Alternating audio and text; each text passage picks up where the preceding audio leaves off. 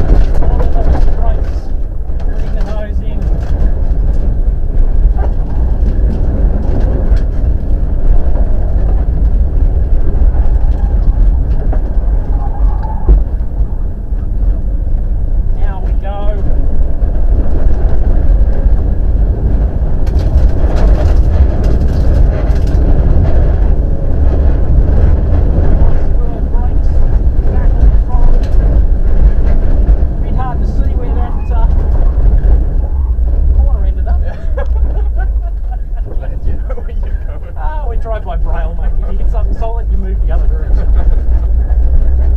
so you can see how hard we brake. Uh -huh. And that gets all that weight on the front. The tail sort of swings a bit, but generally it's good. so, just the same as you were doing. Yeah. no dramas. Thank, Thank you very much. Thank you.